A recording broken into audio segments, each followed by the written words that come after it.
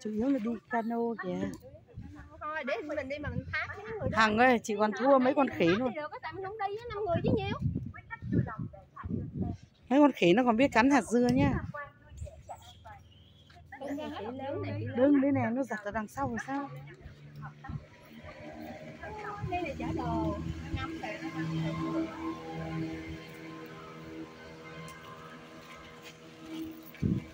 đừng nó biết ở túi em mà nó giặt túi em ấy. Hiền ơi hiền ơi đừng chị ơi. Con đằng sau nữa là hiền.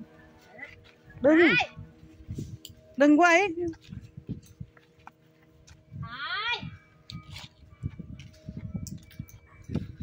đừng làm em giật mình nữa này em đằng sau kệ nó nên là nó đừng để túi em hở là được.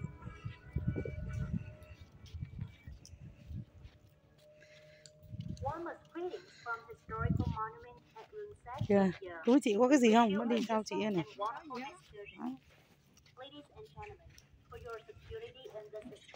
chú khỉ rất hung hăng.